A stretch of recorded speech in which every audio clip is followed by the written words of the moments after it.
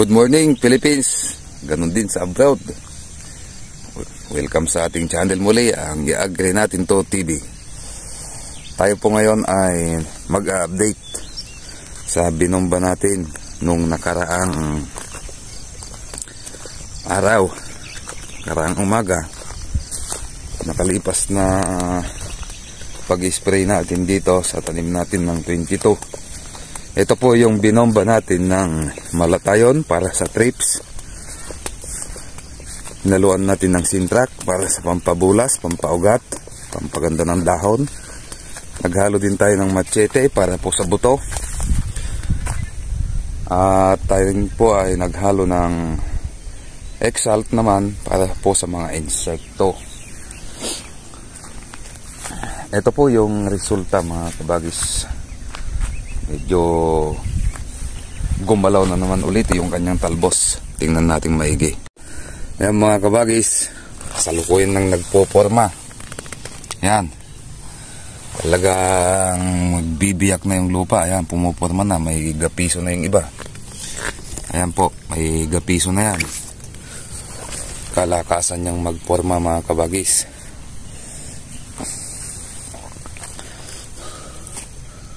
Good morning Philippines po sa inyo. Saan po ba kayo? Kay Kadante? Papabunot po yung ating kabagis si Kadante. Papabunot na siya. Yehey! Sana all. Ito, pakita natin yung gawin. Ah, medyo malalaki nun yan. Kasi nga yung sintomas ng trips, mga kabagis. Meron po yung mancha-mancha sa talbos ito dahon, parang ganyan po. Oh. Ganyan. Parang ganon. May nanginginain pong trip dyan. Ito po.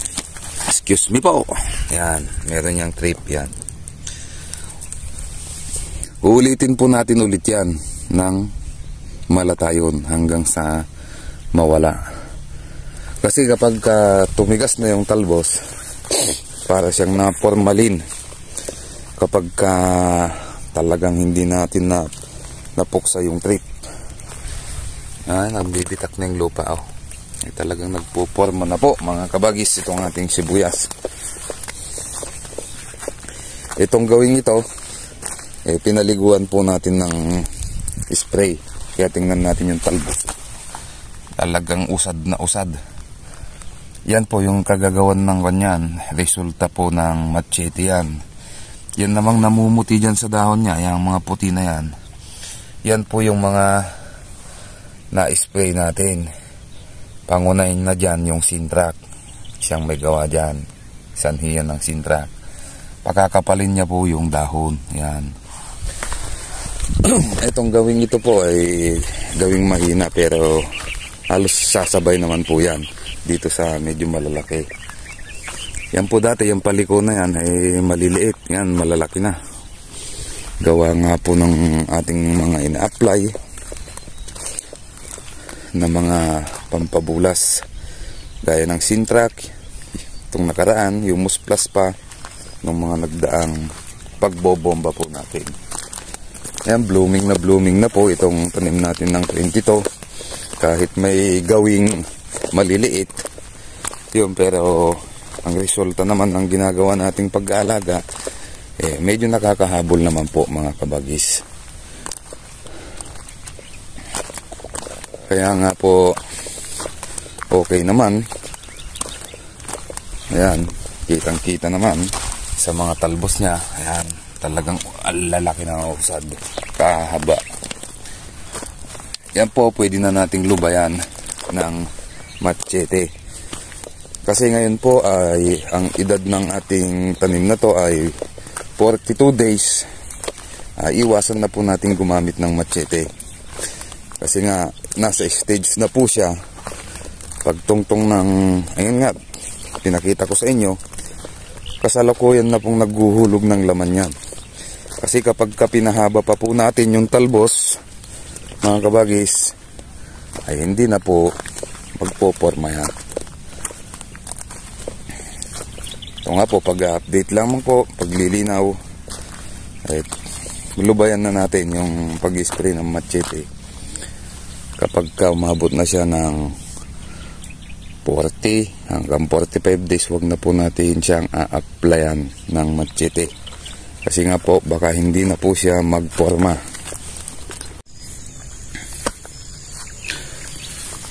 Yan blooming magang maga mga kabagis.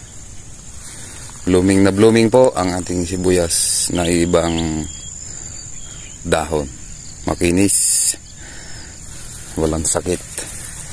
Kumpleto ng vitamins ika nga pag tao yan. Kumpleto siya ng multivitamins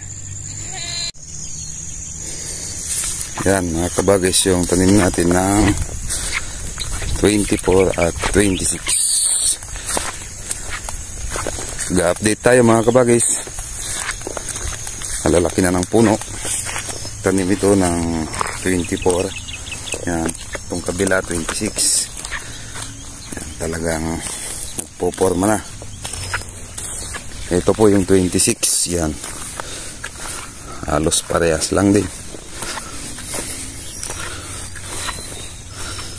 Talagang susunugin na yung ng plat. Oh nagpoporma na po mga kabagis. Talagang biyak-biyak na po yung lupa. Biyak na yung plato. Mabilis magporma mga kabagis nitong ating tanim. Um, humabol sana sa presyo. Yan nga tutubigan po natin mamaya at maglalagay po tayo ng isang triple 14 dito sa gawin na to. At yung nandun sa baba, yun, lagpas ng bakod, isang triple 14 din. Dalawang bag ang kakarga natin mamaya di, dito sa isang kilo.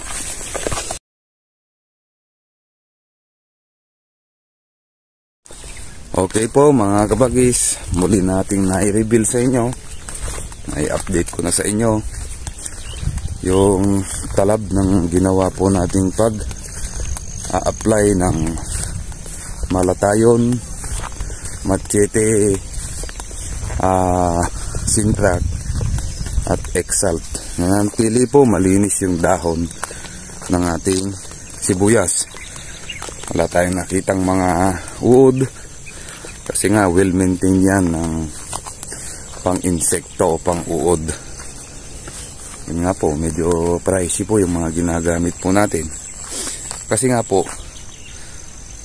maski medyo mahal, ay talagang epektibo. Yun po ang kaibahan ng mahal na lason na aprobado. Kesa naman magkaraniwang lason lang tayo kung hindi naman makakapatay ng insekto. Eh, hindi ko naman sinasabing bumili kayo ng mamahaling. Hindi ko naman sinasabi din na hindi umiipekto yung mga murang lason. Ang sa amin lang po ay pinapakita namin sa inyo yung ginagamit namin at ang nagiging resulta po ng aming paggamit. Hindi naman po tayo nagpo-promote ng anumang produkto. Kaya nga po ang sinasabi lang po namin ay ayon po sa mga experience po namin dito sa aming pagtatanim. Okay, magandang araw po sa inyong lahat at patuloy po kayong sumubaybay sa ating channel.